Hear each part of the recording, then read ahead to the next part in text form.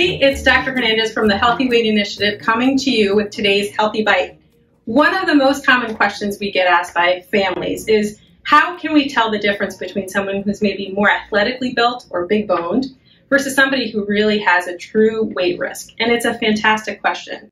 First, it's important to note that what we typically use is something called body mass index or BMI, and we know that BMI is imperfect in telling us that information. But the great news is, is that we actually have wonderful new tools that are evidence based to help us make that distinction. And actually, one of the tools is right here in our Healthy Steps clinic, which is our bioimpedance scale. Bioimpedance scale, believe it or not, uses a very low voltage electrical circuit, and I promise it doesn't hurt, that goes from your toes all the way to your head.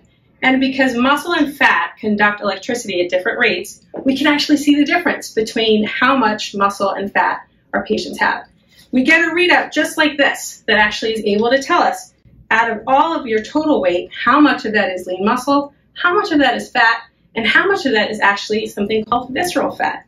Visceral fat is the fat around our organs. When we have too much of that, that's when we're talking about diabetes, hypertension, and other very scary things. So knowing that with this scale actually is really critical to our medical plan for our patients. So when our patients come in, they step on the scale, on the foot pads, hold the handlebars, and we're able to get that information at each visit. Even better is that we can actually track progress over time. For any of you who have ever tried lifestyle change, we know that when we focus on just that number, it can be really frustrating. And sometimes that number doesn't change right away.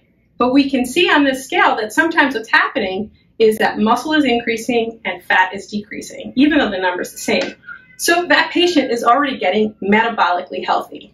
So this is a really great tool that we have available to us here in Healthy Steps.